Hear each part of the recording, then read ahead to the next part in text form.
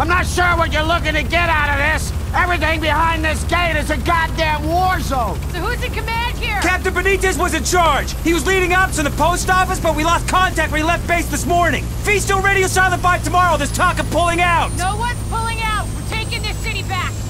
Get whatever gear you need. I'll catch up with you. Good luck out there. You'll need it.